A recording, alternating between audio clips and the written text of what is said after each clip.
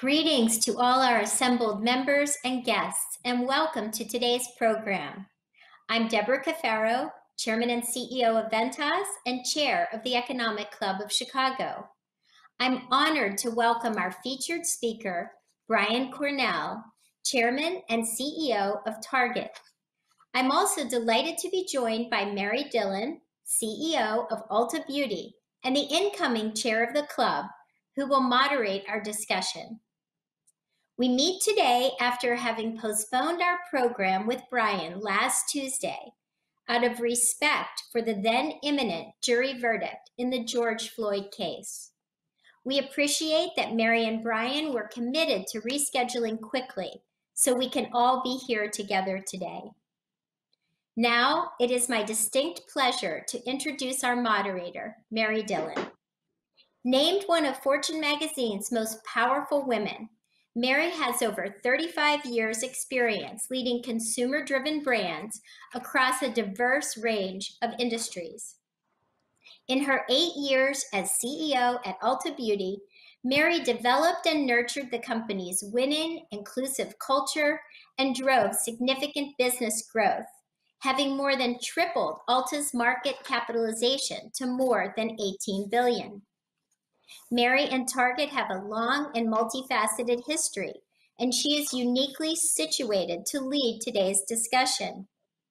Mary served as a member of the Target board from 2007 to 2013, and recently, Ulta and Target announced a groundbreaking partnership that will result in the opening of over 100 Ulta stores within a store at Target locations with additional locations planned for the future.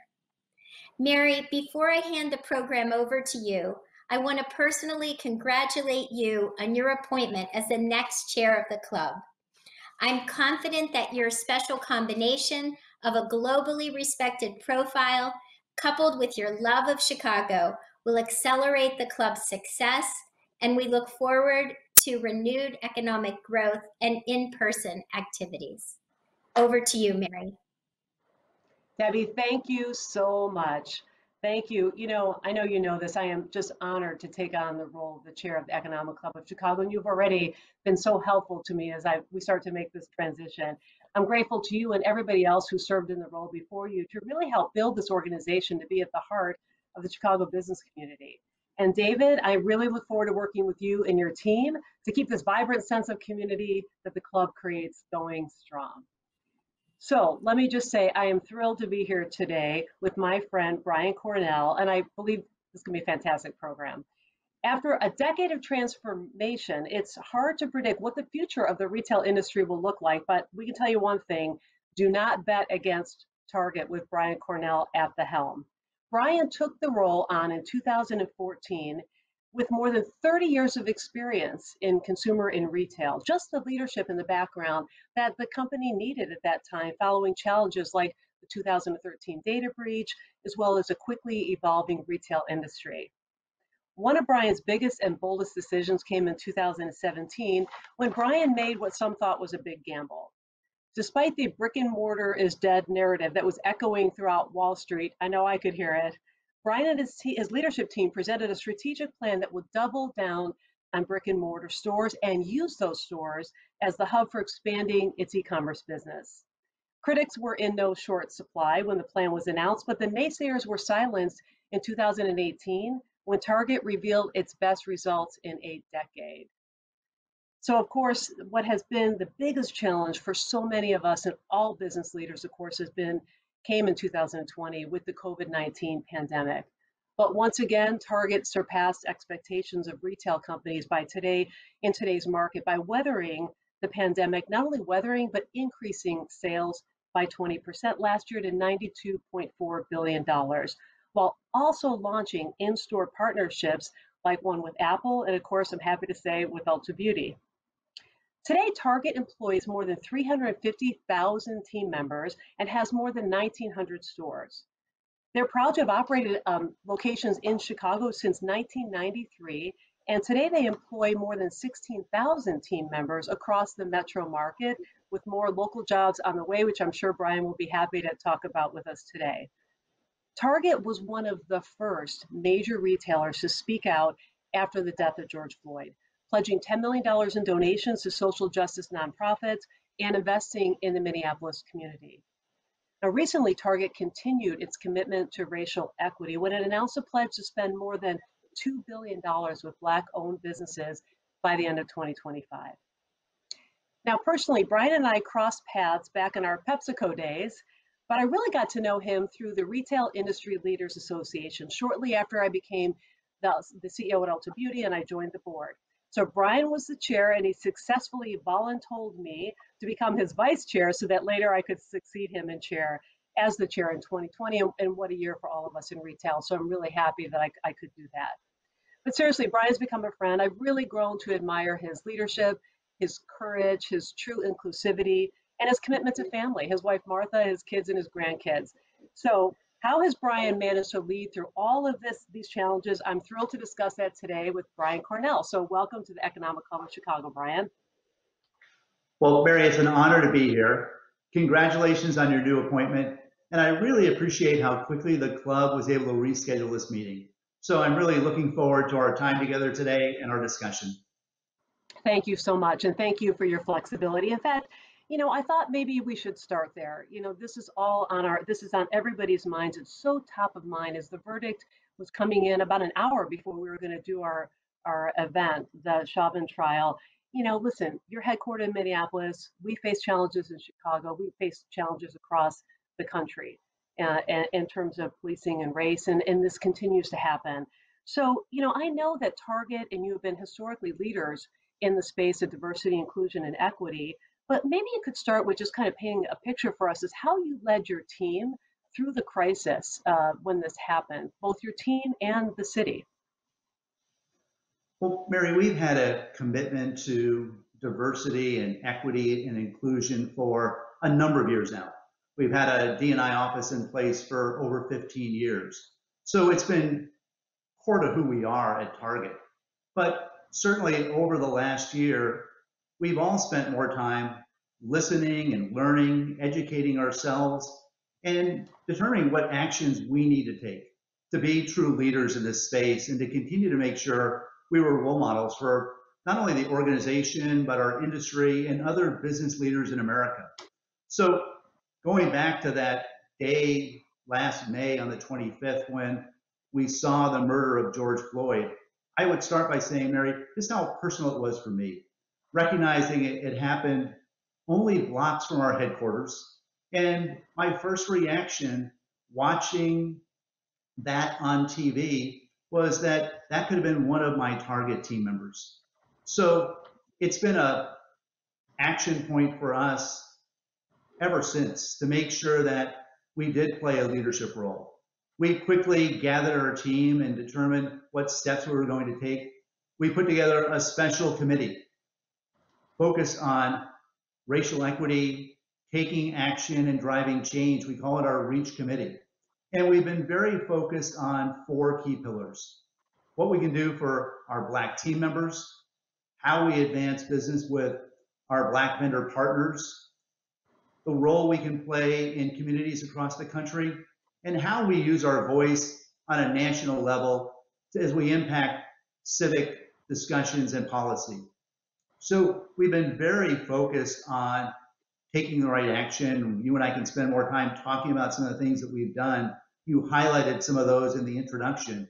But if I think about last week, I think we all recognize that the eyes of America and the eyes of the world were on Minneapolis, waiting for that verdict. And as we sat and listened last week, I think for so many of us, we saw that verdict as a sign of progress, a sign of accountability, but also a recognition that the work is just starting. And there's much more work that we have to do, much more work that we have to lead going forward to continue to make sure that we're making improvements and closing these racial equity gaps that exist all around the country. Right. And Brian, you know, I um, admire how you've been a leading voice throughout this. For all of us in retail, you know, we employ so many people, as you know, and we have so many guests coming through our stores. So I think we have to set the right tone, and and you you've really done that. And, you know, um, well, I, I'd like to maybe just kind of bring it up a little bit and talk also about Target, you know, just your your your company because you know, you I think this notion of equity and inclusion, the George Floyd murder was a catalyst for all of us in business to start to to address this even more aggressively. But in the workplace, you know, you've long been committed to diversity and inclusion. And in fact, I you've got an amazing leadership team. Many of them I know pretty well. And I've always been impressed. And in fact, in February, you announced a host of leadership changes, and that included primarily women and people of color. So I thought it'd be kind of interesting for the audience here to hear your perspective on diversity and inclusion in the workplace at, for Target. Well, Mary, I'd start with a personal belief that to be a successful company today, your teams, your workforce has to reflect the consumer, the customer you serve. So you talked about the introduction. We're close to a $93 billion company today with over 350,000 team members. I'm really proud to be able to say that of our 1,900 stores, over half are led by female store directors. Over a third are led by people of color. I look at my own personal leadership team at Target. One half are women. 25% are people of color. Even at the board level, a third of our board are women and 50% are people of color. So we've tried to make sure that we role model the type of organization we want, where we're championing diversity and inclusion and giving our teams opportunities to prosper and grow and make sure that we're committed throughout every aspect of our organization to opening up doors for diverse team members to become future leaders and officers in our company. Yes, you know, I, think one of the things that I've always been struck by with Target is just how far out ahead I feel like you've been understanding the demographics evolve evolution of our country. Because I remember years ago, and obviously you're doing a lot to commit to black-owned businesses right now. And in addition, I just remember years ago being in a store somewhere in the country, probably in the Southwest, that was completely targeted the Latinx consumer. I remember seeing some advertising a few years ago that you guys were doing that was so on spot you know, this is the fastest growing segment of the population in the US. So I'm just not asking you a question. I'm just saying, as a retailer, I admire because it's exactly what you said. You need to understand, sort of, we need to represent the people in our country and we need to provide great career opportunities as well. And, and I think Target's setting a real tone there. So that's yeah, awesome. And I, I appreciate those comments, but we've also recognized that there is still more for us to do. I go back to some of the commitments we made as part of our REACH committee and you highlighted some, but when we released a report last year that provided transparency into the shape of our organization, we did recognize that we had to do more to advance opportunities for Black team members. And we made a very bold commitment to say that over the next few years, at every level of our organization, we want to increase Black representation by 20%. While we partner with a number of Black vendors today, we made a commitment, as you outlined, to between now and 2025, ensure we're doing over $2 billion of business with bank vendors and service providers. So we continue to recognize we've got to raise the bar. We've got to do more. We've been working with the historical black colleges to provide a scholar program for thousands of students to make sure they have a chance to advance their education. And I'm proud to say we partnered with Ken Frazier, the former chairman CEO of Merck, and his OneTen program to make sure that together with Ken and other companies, we're creating a million jobs for Black Americans who don't have a college degree. So while I think we've, we've started off in a strong position, we recognize there's more we can do.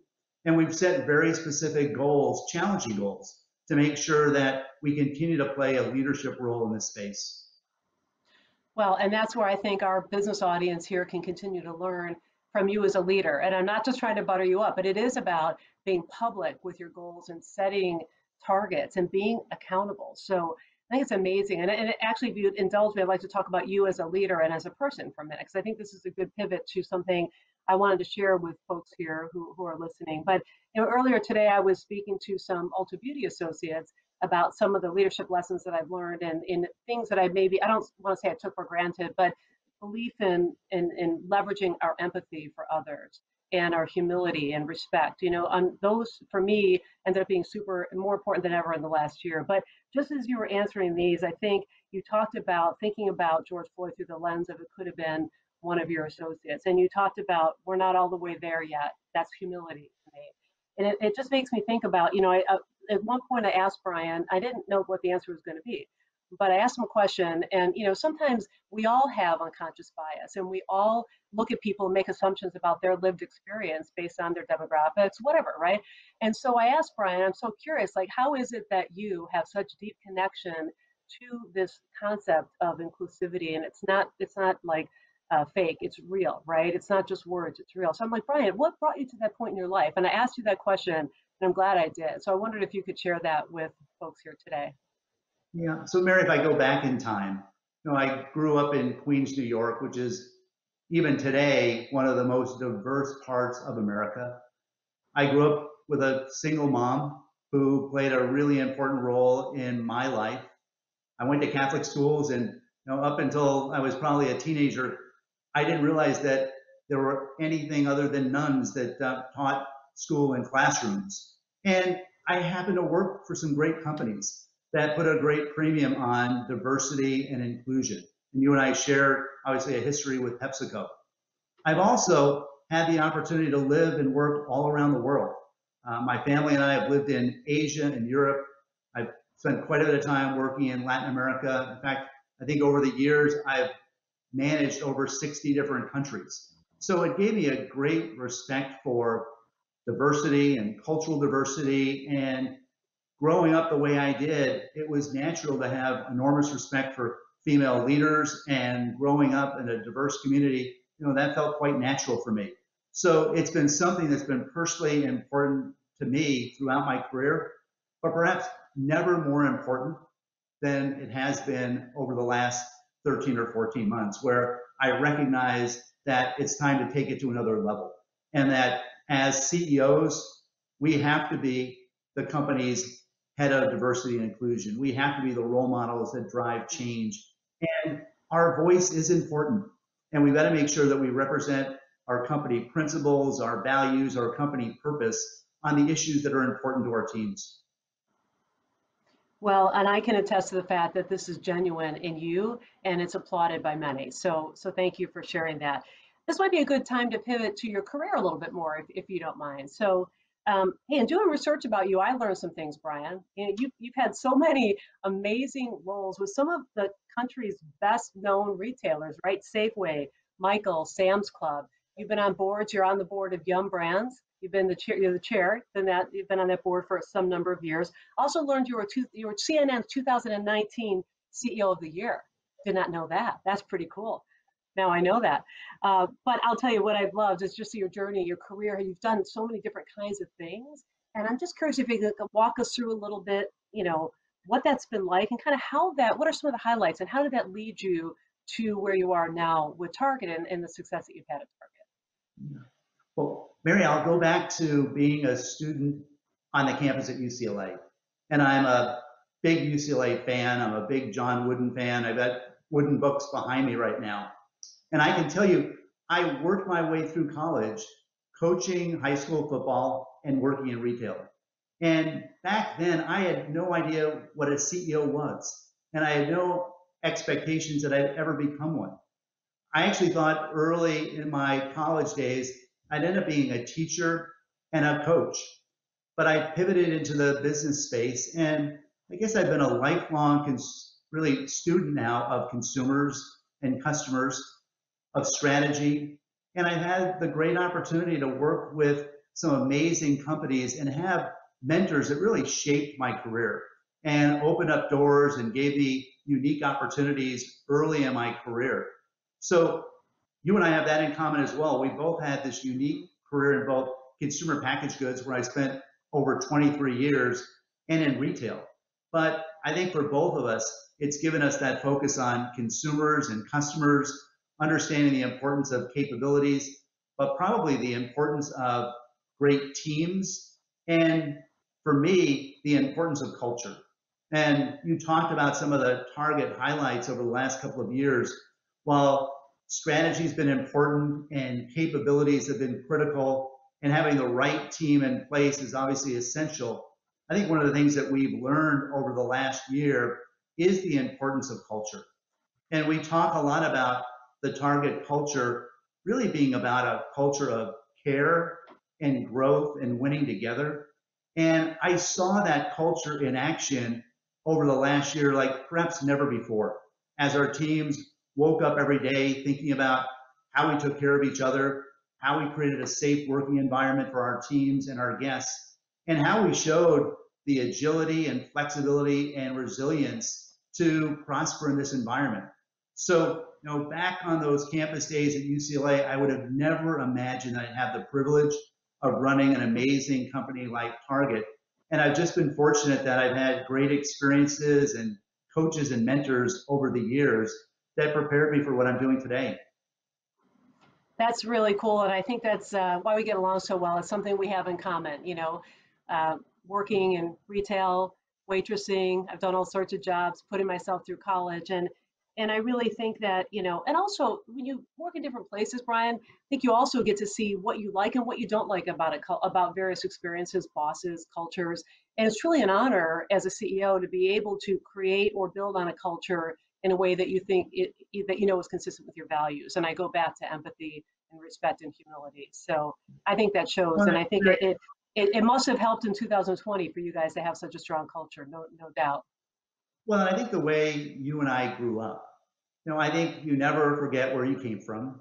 I think it grounds you in a sense of humility, and I think it does does make you a more accessible leader. And I do think, as we sit here today, that accessibility the ability to recognize you know the challenges that are taking place all around us you've already used the word but we talk a lot about empathy and listening and helping our teams build resilience during these challenging times and you know i wish i could say you know covid was behind us but we know it's not and the right. social and racial challenges are still in front of us so i think those attributes are going to be critically important for leaders for years to come well said. So let's get into the heart of the Target business, right? This is a, a, a, lot of everybody loves Target and everybody loves what you've done and your team have, have done there. So, you know, you've been leading the company over seven years. You defied, as I said in the introduction, the retail is dead narrative. Actually sounds laughable in retrospect now. Uh, you doubled down, you made a huge investment. I remember when that was announced, $7 billion in stores and technology. And of course, you know, I mean, I, through 2020, I, am sure you're very happy that you had been aggressive in that front, but leading up to that as well. So maybe paint a picture for us about what's Target doing right? How are you competing again? You have some formidable competitors uh, out there, right? And you you're large and at scale, but you're also nimble. So maybe you can help us understand how how that all comes together. So Mary, I might go back to 2017. You've talked about it a couple of times, and that was a point in time where we revealed a very new strategy for the company. We talked about investing over $7 billion in physical stores, in remodeling our existing stores, in building new small formats, in investing in our brand, and also investing a billion dollars in our team, in higher wages, in training and development. We made a commitment all the way back in 2017 to a starting minimum wage of $15. And when I made that announcement and when we walked through that strategy and that commitment back in 2017, there were a lot of naysayers. In fact, many people didn't actually expect that Target would be here today. But those investments have proved incredibly beneficial during the pandemic. Our focus on using our stores as the center of everything we do, both for physical shopping, but also for fulfillment. Our 1,900 stores operate like mini distribution centers where we pick and prep and pack product and ship it out the back door with FedEx or UPS, or more and more, have our guests utilize our order pickup services or pull into one of our parking lots.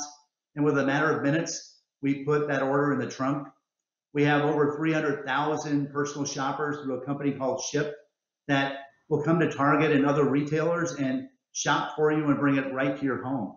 So we didn't build a strategy based on the pandemic, but it certainly has served us well and it's allowed us to differentiate versus many of our competitors. So that strategy of using our stores at a time when most people said stores were going to go away, that proved to be critically important during the pandemic, where somewhat to my surprise, Mary, despite the last year where many Americans were staying home to stay safe, physical stores still represented over 80% of all the retail dollars that were spent in America.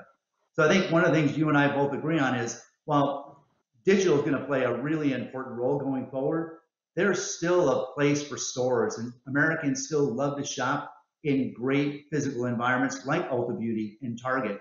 And I don't think those trends are going to change.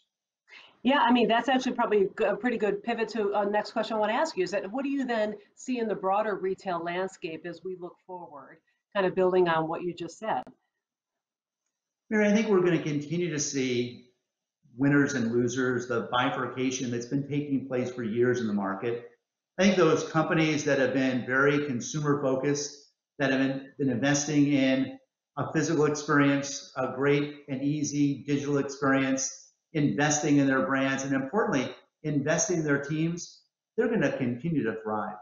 So I think we're going to continue to see not only retail consolidation, but I think coming out of the pandemic, consumers will continue to consolidate the number of places where they shop. I think safety is going to be important for years to come and having a safe and trusted shopping environment will be critically important. But I think stores will matter. And I think we're going to see this combination of physical and digital come together. But for most consumers who shop Target or shop Ulta Beauty, they're not thinking about whether today they're going to shop in a physical or a digital environment. They're just shopping at Target. And some days they're going to be in our stores, other days they'll be in our parking lots, and some days they'll just want us to bring it right to their doorstep.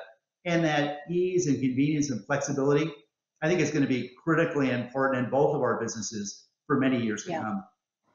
I couldn't agree more. Um, and, you know, um, another aspect of our business that I know is on every business person's mind is the back to work for the corporate headquarters, right? So obviously in retail, our stores have been open for us, not the whole time, right? But we're back open. Our distribution centers have been open, uh, but corporate headquarter work has changed.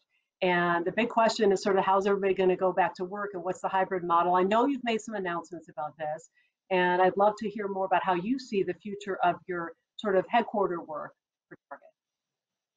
Well, Mary, it's actually something we spend time on every day. And we've spent a lot of time serving our teams, talking to other companies, trying to understand what does the future look like. And I would tell you, we've evolved our thinking from originally talking about back to office. We then started talking about the future of work. Today, I'm much more focused on how do we make sure we are a preferred employer for years to come? And what are the attributes we need to provide? And I do think the future is going to be one of more flexible working, where sometimes you're in the office other days you can work from home, but I think the office environment will change. And I think while the office is still going to be critically important for collaboration and connection and culture, I think the future of the physical work environment is going to change. And I think it's going to need to change to meet the needs of tomorrow's team member at Target who might be looking for more flexibility and may not be looking to drive to the office each and every day, but still values that connection with their team and recognizes that there's going to be days when they want to be together physically and other days where they can be highly productive working remotely. So I think technology is going to evolve. I think space will evolve. And I think the routines that you and I have had for most of our career are likely going to change as we think about a different, more progressive work environment in the future. Yeah, and I, you know, I'm happy to hear you say that. We're um, we haven't announced our all of our plans yet, but we're in a similar mindset at Ulta Beauty. And you know, throughout my personal career, I have when I was having my children and building my career, I created um, and innovated some some you know things 30 years ago, a job sharing program when I was a brand manager. I had one role where I was telecommuting guess that's like this, but it was on a phone, one day a week at home and four days in the office. And so, I, and all of those things only made me more committed and more productive and more happy. And so, I think as we move forward out of the pandemic, I hope we can see that the model of hybrid or some modicum of flexibility can really work. And it's a two-way street, right? The the, uh, the the associate or the team member has to you know do their part, and then the company can do its part. So I'm sure we'll continue to learn and compare notes as we go. I'm happy to hear that. Um, so not to be all about Ulta, but let's come, let's talk about retail partnerships because I couldn't miss this opportunity to do this. Um, I'm really excited about the Ulta Beauty Inside Target that's, you know, we're launching later this year. Um, you know, you have other great partnerships too. I listen when you announced the Apple partnership. I think you're building on a relationship there, and I, of course, we both know you have a long-term Starbucks partnership. I feel we're in great company, and I'm excited about it. So maybe talk a little bit about how you think about these partnerships overall. Well, first, Mary, you know I am so excited about our partnership with Ulta Beauty, and similar to our partnerships with Starbucks or Disney or Apple for me, it all starts with the reaction we get from the consumer and our guests. And in every case, you know, we've built these partnerships because our guests have told us these are brands that they would absolutely love to see at Target. So when we thought about expanding our focus on beauty, which is a critically important category at Target, when we talked to the guests, as Mary, you know so well, over 90% said we would love to see Ulta Beauty inside of a Target store. So the partnerships have been all about, you know, the guests telling us these are brands that they'd love to see curated and available at Target in a physical store and from a digital standpoint. But then the other thing that's important to us and important to me is shared values. And when we looked at this partnership and with everyone who's joining us today, I will tell you, you know, Mary Dillon is a friend but she's also an executive that I've got enormous respect for, and I have for many years now. I knew that our companies had shared values and principles, and as we started to think about this partnership and our teams got to know each other, that was only amplified. So that combination of a consumer and guest voice and partners that have common values and principles and a culture that will come together and work together well, those are really important ingredients for a successful partnership. And again, I can't think about a better partnership than the one we've just formed. Yeah, and I'm thrilled how the teams are working together. And for all of you out there who might try this and, and, and shop, you know, it's a great opportunity for us. I mean, for Ulta Beauty, it's happened to so many millions of people that shop at Target that maybe haven't been to an Ulta Beauty. For the Target guests to get a chance to try some brands and experiences that are, they don't have today curated and really experiential and fun. And we think it's just going to make all boats rise in a way that, you know, for both of us, this is coming from a position of strength.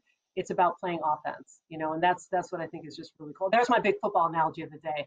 Okay, that's as good as it's going to get from me now, so I'll stop on sports. Okay, so let's pivot to talk about Chicago for a little bit. Okay, my hometown. Um, you got, I mean, Target obviously has a great retail presence. Um, you know, I read that you debuted it here in 1993. It feels like it was a lot longer ago than that. So maybe that fact is wrong, but it feels like you've been here forever. So can you talk a little bit more about how you see Target growing in Chicago?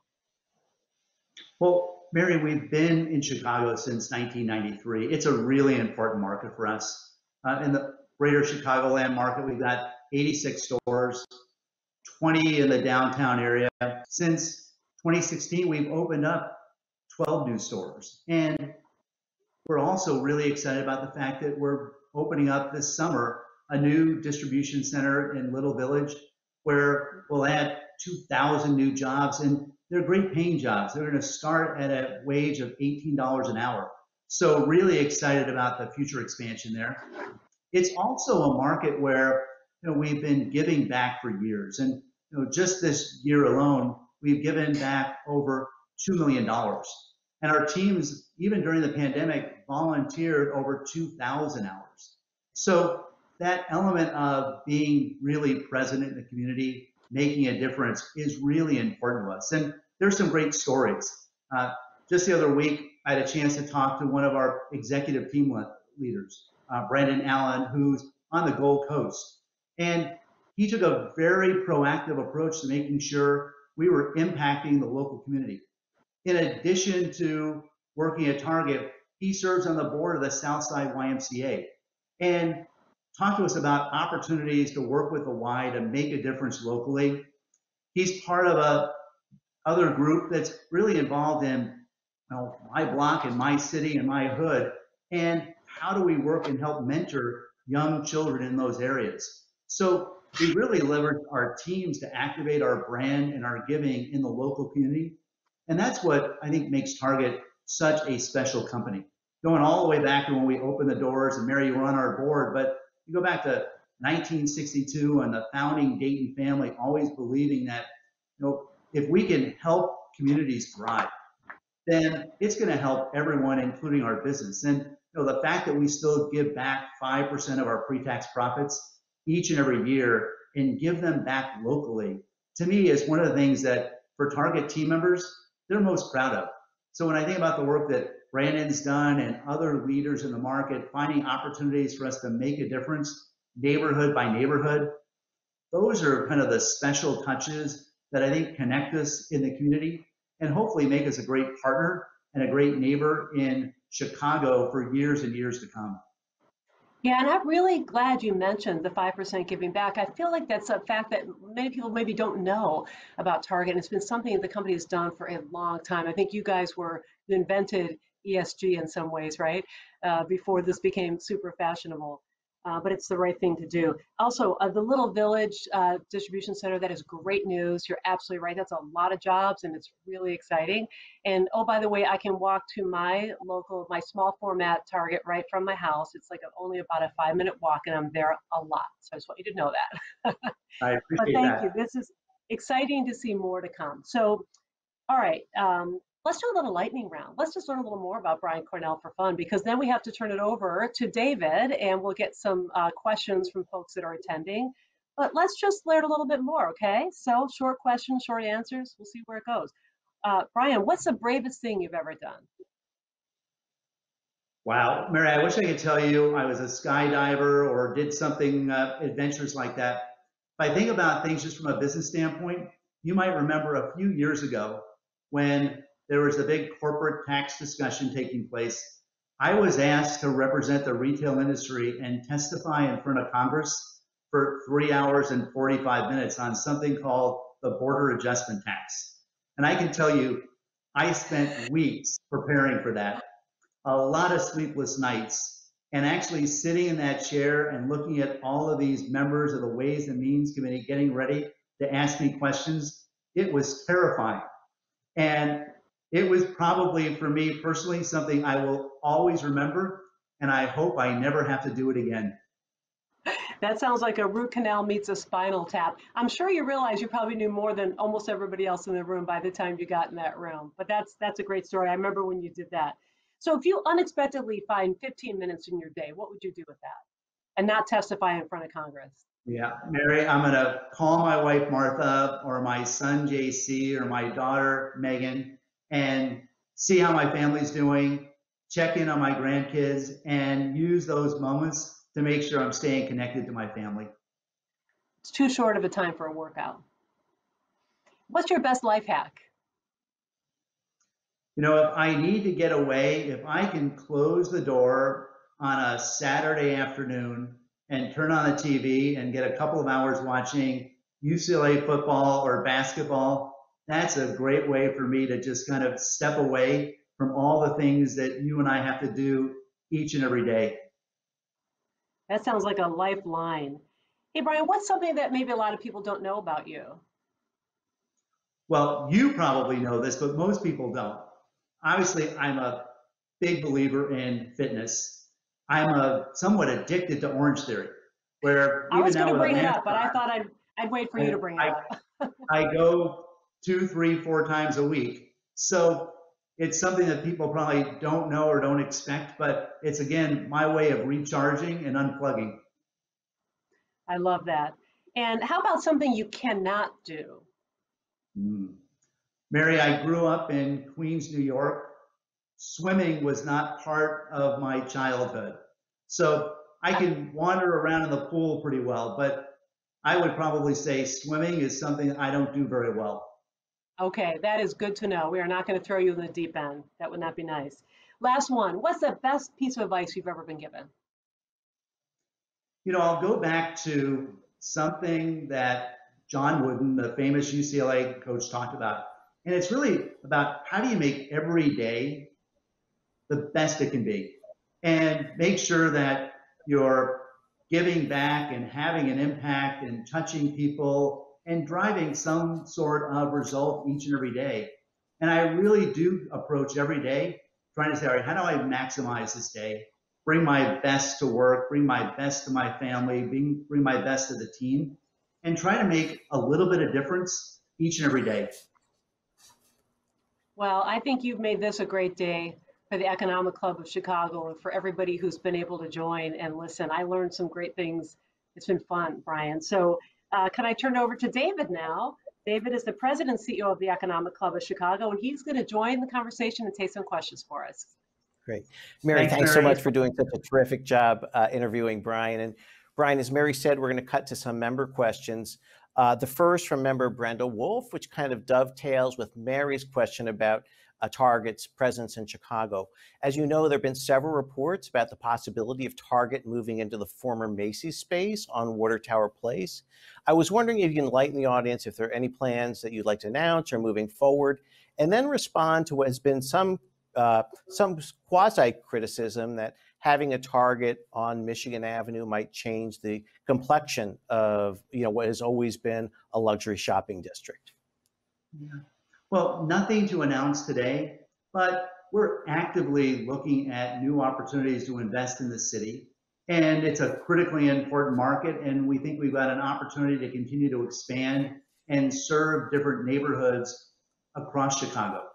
I would tell you that you know, over the last few years, we've now opened up well over a hundred new stores in a number of different geographies, including in some marquee locations. And whether it's work we've done in Santa Barbara or in Cape Cod, great historical sites now that we're entering in downtown Pittsburgh or in Charleston.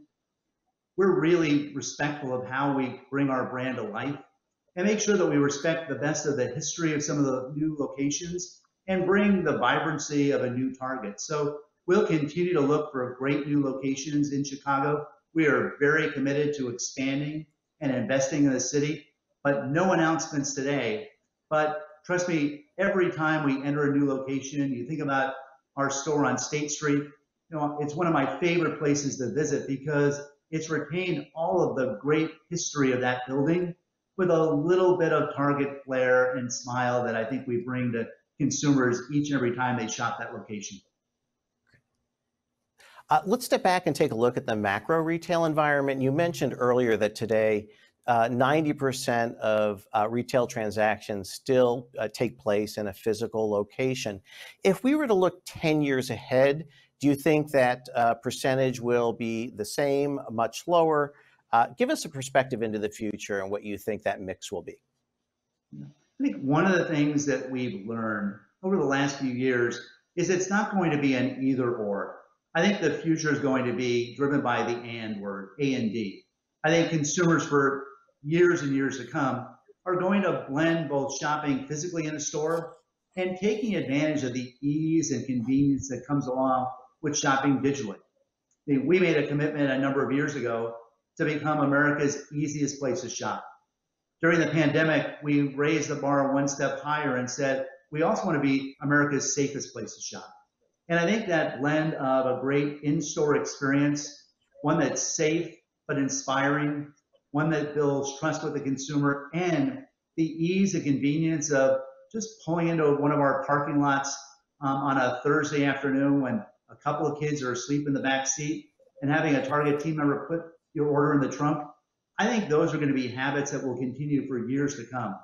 So I don't know if it's going to be 80 20 or 75 25, but I think it's going to be this unique blend of physical shopping and taking advantage of the ease and convenience of digital. And those are going to continue to blur together for millions of Americans each and every week. And as there is this growing transition to online retailing, how will the physical space and the physical experience of shopping uh, change? I know, for instance, you're doing more uh, uh, stores within a store. How else will it change, not just for Target, but for the industry as a whole? You know, I think from a Target standpoint, we'll continue to be a curator and make sure that we've got the right assortment category by category for our guests. I think for successful retailers, you're going to have to be very close to understanding what the consumer is looking for, what they're expecting from your brand, how you bring that to life physically in stores, bring both the ease, but also the inspiration that consumers are looking for. So it's why we're so excited about elevating the Apple presence in our store. We're bringing Disney to our stores that will delight millions of young children on a Saturday morning. Or the response that we've received when we talked about bringing Ulta Beauty into Target. So those great partnerships that provide the consumer and the Target guest, you know, that excitement of saying, I really physically, I want to be there because there's something new, there's something exciting, and there's great brands that I want to browse on Sunday morning and want the opportunity to be able to order digitally and have it brought right to your home. So I think successful retailers are going to be great students of the consumer. They're going to understand their customer. They're going to have great capabilities to manage assortment and fulfillment. They're going to have to curate great brands. But I think equally important, you're going to continue to have to provide great customer service. And I think one of the things that we continue to hear from consumers is even in this new age of digital, that human touch is really still important. We like someone who can be there to answer our questions or provide that little bit of help, or just simply ask, you know, did you find everything you need? And are you having a good day? So I think human touch is something that's going to be part of successful retailers for years and years to come. So we've been talking about the evolution of the shopping experience and the retail industry. So over time, we've seen the industry change from mom and pop to department store to malls, big boxes, and then uh, online shopping. What do you see as the future or the next iteration of retail? Well, I both believe, but I also hope it's going to be a combination of you know, larger companies like Target and great small businesses that continue to thrive across the country. And I think for our economy, we have to recognize just how important small businesses are. The important role that retail plays with over 42 million jobs tied to retail in America. Some of those jobs are at Target. Many of those jobs are at small retailers that are in every city across the country. So I both believe, but I also hope it's going to be a combination of both. Both retailers like Target who have larger scale, but also those local retailers that understand the needs of their neighborhood and their community. And I think retail will always be a blend of both. Mm-hmm. Um, let's talk about Target's expansion strategy. Uh, you alluded uh, earlier, or Mary did, to um, doing maybe some smaller format stores in downtown areas. You mentioned you have 1,900 stores now. If you were to look in the future, do you have plans to open X number of stores per year over the next several years? And if so, how will they manifest themselves as full-time, full-size Target stores, smaller ones, located in downtown areas, located in suburbs? Maybe give us a little flavor of what Target's physical expansion plans look like. Sure. We would expect to open up 30 to 40 new stores for, you know, for the foreseeable future. You know, as we've looked over the last few years, going back to really 2014 and 2015, we recognized that we had to be more flexible in our format. We couldn't find acres and acres to build a full-size Target store with 140,000 square feet. Sometimes we had to learn how to operate in 30 or 40,000 square feet and become much more flexible and curate assortment for that local neighborhood and that local consumer. So over the last few years, we've been opening up in great downtown settings in many stores 12 now that we've opened up in Chicago. We've also made a big commitment to college campuses, and we've opened up stores on college campuses across the country. So some of those stores are going to be smaller. Some will look a lot more like a full-size store. It'll be 70 or 80,000 square feet based on the opportunities we're seeing in catchments across the country. But we're committing to expanding. We're going to continue to grow. We'll also continue to remodel our stores. And this year we'll remodel about 150 stores and we'll probably ramp back up to well over 200 next year. So investing in improving the physical experience, enhancing that experience, opening up new stores, and then again, partnerships like we have with Ulta Beauty, bringing those kind of surprise and delight moments to our target guests and really making sure we're meeting all their needs. So Brian, you alluded earlier to Target's own um, future you know, work at home, work in the office plans. Uh, a question from our questions committee was, what is the future of some of the locations you're putting in downtown uh, areas if there's the possibility there will be actually fewer people who will be working in traditional office buildings and center city locations? I think those downtown stores are still going to play a vitally important role. And a number of the notes that I've been receiving during the pandemic from guests who live in downtown Chicago or in Boston or New York, there are notes that say, you know, Target, thank you for having your store open, for giving me access to all of the categories that I shop, whether it's food and beverage or household essentials, a place to pick up their medication, apparel items and things that they need for their home, the ability to shop for electronics and home office supplies. Those local neighborhood stores have played such an important role servicing that local neighborhood. And no, they haven't seen the traffic that they did in the past when their office buildings adjacent to them were closed, but they play a critically important role. And we think we've got a really important role to play in the future in urban settings across the country. Question from member uh, Durandal Beverly. He says, at what point do you see uh, virtual reality, augmented reality uh, manifesting itself in a retail environment? Is it something that Target's looking at?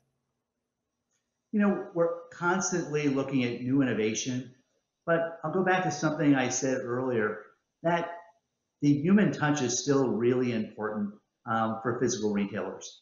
And despite the fact that digital plays an important role and we've continued to enhance our digital experience, your ability now to shop and actually envision how something might look in your home, you know, what it might look like um, on your bookshelf or in your dining room is really important with augmented reality. But in the physical store environment, we found that consumers still like that personal touch. They like to be able to interact with the product. They like to interact with our team. So we'll carefully think about the role that technology plays. It's been really important as we think about safety. And we try to make sure that there are more opportunities to shop and check out in a contact-less environment. But we recognize that consumers still enjoy shopping and interacting with product in a physical environment. And I don't see that changing anytime soon. Okay. Uh, somewhat related question. Uh, how is Target tracking the behavior of Gen Z consumers? And how is it adapting in order to, you know, adjust to that consumer behavior? We spend a tremendous amount of time talking to consumers, talking to the different cohorts, understanding their different needs, and trying to anticipate both their needs and their wants. And the, the Gen Z consumer is a critically important consumer for us as we think about the impact they're going to have in the future. We're tracking them both from a consumer and shopping standpoint, but also that's an important voice as we think about the future of work and what this new flexible work environment looks like. So that's a voice that we're spending a lot of time listening to, both from a shopping standpoint, but also as we think about how we're going to operate from a target headquarters standpoint. Great. Question from Christy uh, Pascavan, who's a member. She said, um, with the number of employees that Target has, what are you doing to retrain or upskill uh, people in your workforce as the work environment becomes more technology and data driven? It goes back to one of the commitments we made in 2017. Uh, and at that point, I talked about investing over a billion dollars in our team, in increased wages, but in training and development. And it's something that is critically important to us. I'll go back to bringing Ulta Beauty to life inside of a Target store. We're going to spend hours and hours training those team members to be experts in the beauty space, to be experts in serving the guest who's coming to us interact with Ulta Beauty and their assortment. So whether it's in technology, whether it's how we manage our front end of our stores, how we manage fulfillment, we're investing in training and development constantly with our team to upsize their skills, to make sure they're ready to serve in this new environment that is constantly changing in retail. So the training development aspect is critically important to us to be the preferred employer that we are in the retail business. One final question, and this is from member Don McNeil, and he's wondering uh, what uh, the possibilities or what will be the importance of celebrity driven brands or brands sponsored by influencers like YouTube, an example. So, is that something you're monitoring and something that uh, Target is um, ready to respond to? Well, I think influencers today play a really important role. And we know that our guests are very connected from a social standpoint. So, you know, when we have influencers talking about our brand, you know, that's critically important to shaping behavior and opinion. But one of the things that for me is an aspect that I enjoy so much about being here at Target is those stories that are posted almost every day. You know, those life moments where you know, a little girl is in a Target store with her mom and getting ready for a special event and you know, picking out that dress for Easter Sunday or mom's getting ready for that birthday party at home and those target life moments are so important. And a lot of times, you know, I get to wake up in the morning and there's something posted and it's really personal. And it's someone who had a great experience shopping in our stores, finding great product at an amazing value. And they're posting and talking about what an impact it had on their friends, on their family, on their children. So those moments for me are just, you know, so delightful because it just shows how we're connecting with so many families. You know, and I talk about our culture, I'll leave with kind of our focus on purpose. And it's a rally point for our company. And we try to wake up every day thinking about how we help all the families, the 30 million families who shop our stores every day, discover that little bit of joy in everyday life. And sometimes it's just those little things that we can do those unique products that they find in our stores, the smile on a little boy or little girl's face, that really brings our purpose to life. And that's something that, you know, for all of us, makes working at Target just so special to recognize that we can bring that little touch of joy to all the families who shop our stores each and every day and just try to help them find you know, those little special moments that delight them in their lives. Brian, can't thank you enough for spending time with our Economic Club members and their guests today, and for giving us an inside look into how uh, Target is adapted to both the physical and online environment. So thank you again for being with us again today. Thanks for having me. I really appreciate it. Have a great day.